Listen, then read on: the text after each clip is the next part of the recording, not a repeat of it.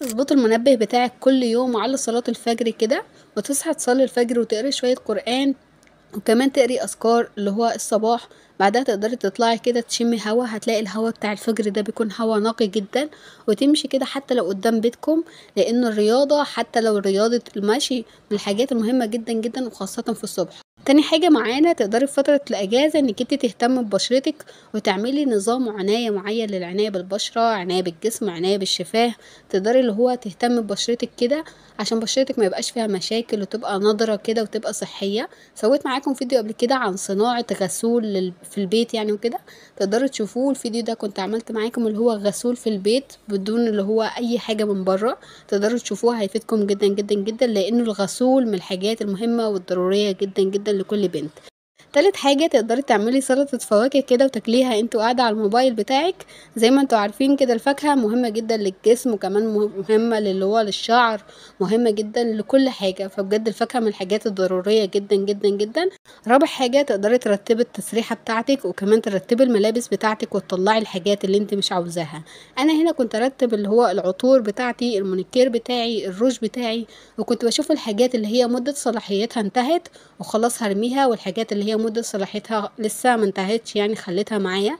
فمهم جدا إنك انت تعزلي الحاجات اللي انت عاوزاها والحاجات اللي انت مش عاوزاها. خامس حاجة لو انت من الناس اللي هي بتصرف فلوس كتير وما بتبقاش عارفة فلوسها راحت فين أو فلوسها ضاعت فين تقدري تعملي اللي هو جدول كل شهر. أنا هنا كتبت اللي هو مصاريف شهر سبعة وكتبت الحاجات اللي أنا صرفتها في شهر سبعة. يعني حتى فلوس المواصلات بتاعتي كتبتها. فبجد الحاجة دي مهمة جدا وضرورية جدا. أنا بالنسبة لي لازم أعملها كل شهر عشان أبقى عارفة أنا فلوسي راحت فين. حتى لو صرفت 200 جنيه صرفت 2 جنيه بفضل كاتباها كده في ورقة عشان أبقى عارفة الفلوس راحت فين وعملت بيها إيه. فالحاجة دي مهمة جدا جدا ولازم تعتمدوا عليها في مصاريفكم الخاصة. تالت حاجة معانا تقدري تطلعي كده وتروحي مطاعم جديدة لو مطعم هندي مثلا أو مطعم مثلا سوري أو أي مطعم اللي هو غير بلدكم كده وتجربي أكلات جديدة وتجربي حاجات جديدة ده بجد هيفيدك جدا وتحسي إن الموضوع فن قوي كده وحلو قوي سابع حاجة معانا تقدري تستغلي الأجازة بتاعتك وتتعلمي أي لغة أنت حابة تتعلميها. منصة اليوتيوب بتوفر لنا دروس مجانية كتير جدا لتعلم أي لغة. سويت معاكم فيديو قبل كده عن طريقة تعلم اللغة اللي هو اللي هو التركية. اتعلمت اللغة التركية بجد في البيت بدون أي حاجة بدون أي دروس بدون أي آه، اللي هو منحة أو حاجة.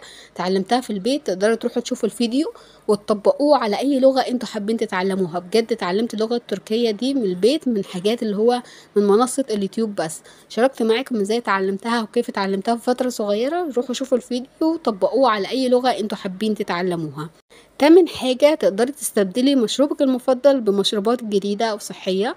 يعني أنا هنا كنت دايما بشرب شاي فاستبدلت الشاي بالمشروب الجديد اللي هو مشروب اللي هو الزبدو فبجد المشروب ده حلو جدا جدا وصحي كمان للجسم. وكمان تقدري تعملي مشروبات صيفية لذيذة كده هتحسي بالإنتعاش وقتها وتحسي إنك أنت اللي هو المشروب ده أنت اللي عاملاه بنفسك. فبجد موضوع حلو قوي وفن قوي بالنسبة لي. تقدري كمان في فترة الأجازة إنك أنت تسمعي الكدراما والمسلسلات اللي أنت حابة تشوفيها.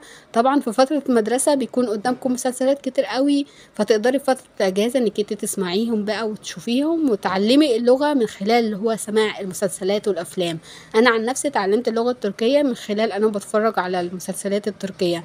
فبجد الموضوع ما تاخدوش موضوع إنكم أنتوا تتفرجوا وخلاص لأ حاولوا تتفرجوا وكمان تتعلموا اللغة اللي هما بيقولوا بيقولوا إيه بينطقوا إزاي. فبجد الموضوع حلو جدا جدا جدا هيبقى استمتاع وفي نفس الوقت تعلم. عاشر حاجة معانا تقدري تعملي المشروب ده على الصبح كده هيفيد جسمك جدا جدا جدا خاصة الناس اللي حابة تخسر وزن.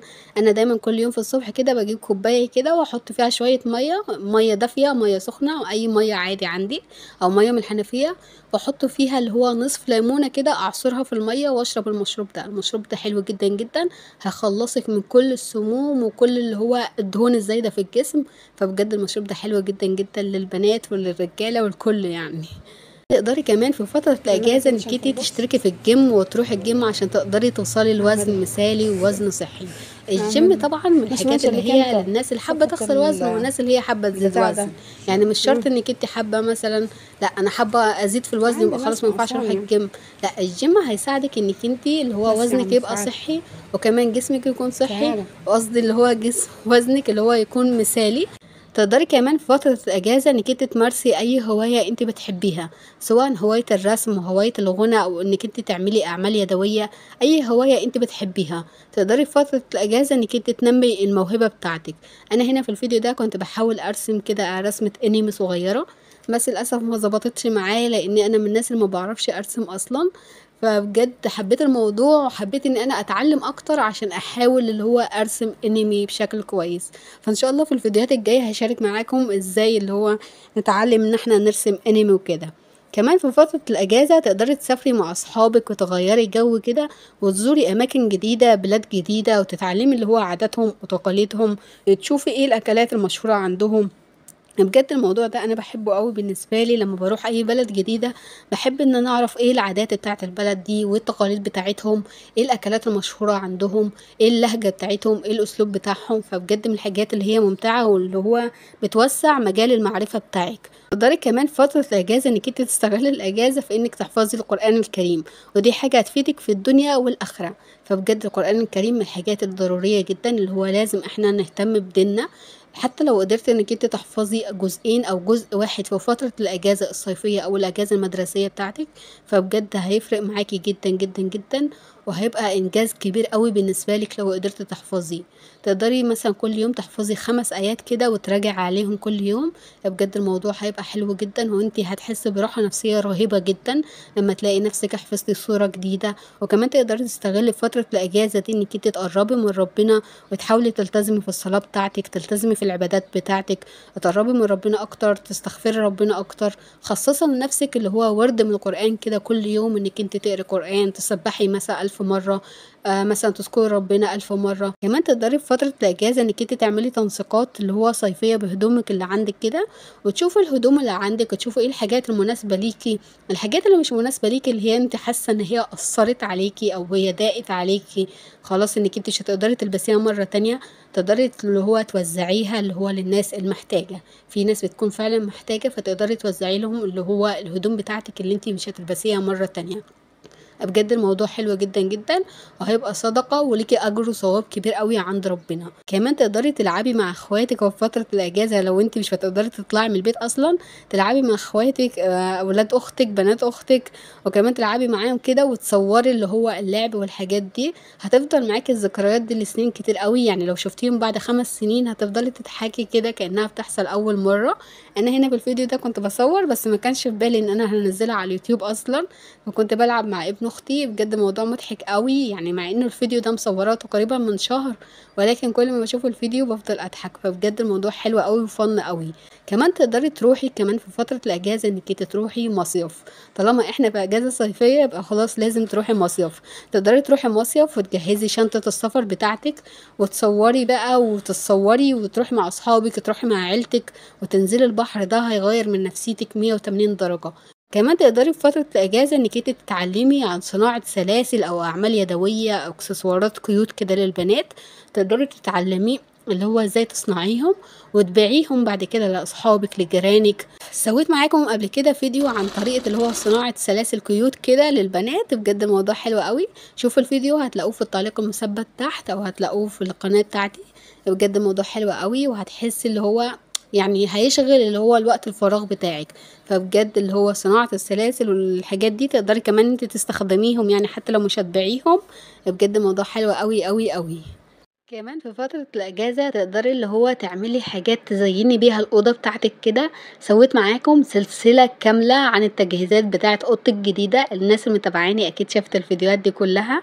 تقدري تعملي اللي هو جبت المراية هنا وحطيت عليها اللي هو الخرز اللولي ده. بجد شكلها تغير 180 درجة بجد من الحاجات الحلوة جدا. سويت معاكم فيديو عن صناعة اللي هو أعمال يدوية اللي هو ل BTS للفرقة المفضلة بتاعتك. وكمان عملت حاجات للغرفة بتاعتي. تقدري تشوفوا الفيديوهات دي كلها هتلاقوها في التعليق المثبت تحت. بجد بصوا المراية بقى شكلها حلو إزاي و cute إزاي. فبجد حاولوا تستغلوا فترة الإجازة برضو إنكم أنتوا تزينوا الأوضة بتاعتكم أو تعملوا أعمال يدوية. كمان تقدروا فترة الإجازة إنك انت تعملي اللي هو كل أسبوع كده اللي هو تعملي ماسكات للبشرة. البشرة من الحاجات المهمة جدا جدا جدا لكل بنت. تقدري في فترة الإجازة إنك انت انتي بقى تستغلي كل أسبوع تعملي scrub للشفايف تعملي سكرابات للبشرة تعملي ماسكات للبشرة وكمان قبل كدا سويت معاكم إزاي تعملي غسول للبشرة. شوفوا الفيديو هيفيدكم جدا لأن الغسول من الحاجات المهمة جدا جدا جدا والضرورية لكل بنت. يعني مينفعش اللي هو نهتم ببشرتنا وإحنا مش معانا غسول أصلا. فسويت معاكم إزاي تعملي غسول في البيت بمكونات سهلة. شوفوا الفيديو وحاولوا تعملوا غسول كدا لأن الغسول من الحاجات الضرورية جدا جدا. وكمان العناية بالبشره والشفايف والهالات السوداء والعناية بالجسم من الحاجات المهمة والضرورية جدا. هتلاقوا فيديوهات كتير اوي نزلتها على القناة عن اللي هو العناية بالبشرة والجسم وكدا تقدروا تشوفوهم لأن الموضوع مهم جدا جدا لكل بنت خاصة لو انتِ بنت يعني مينفعش متكونيش بتهتمي ببشرتك مينفعش تكونيش اللي هو مش بتهتمي بشفايفك وهكذا. فالعناية بالبشرة من الحاجات الضرورية جدا جدا جدا فحاولي إنك انتي تهتمي ببشرتك كل أسبوع. تقدري كمان في فترة الأجازة إنك انتي تصحي بدري. زي ما أنتوا سامعين كدا أيوه تصحي بدري. لما انتي تصحي بدري بجد من الحاجات الحلوة جدا جدا جدا تمشي في الشوارع كدا هتلاقي الشوارع هادية جدا. وهتلاقي كمان بصوا الزرع كدا تلاقوه منور وكل حاجة جميلة بصراحة. أنا من الناس اللي بحب جدا إن أنا أصحى بدري كدا وأتمشى في الشوارع. بجد الموضوع حلو أوي أوي وهيفرق معاكم وفي نفسيتكم جدا.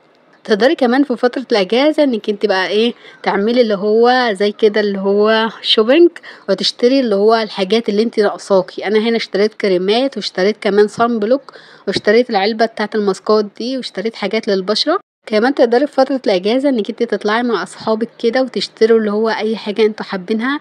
أنا اشتريت البتاع ده بجد كان أول مرة أجربه بجد طعمه خطير حلو أوي أوي أوي. بصراحة نسيت أصوره معاكم بس بجد من الحاجات اللي عجبتني جدا جدا.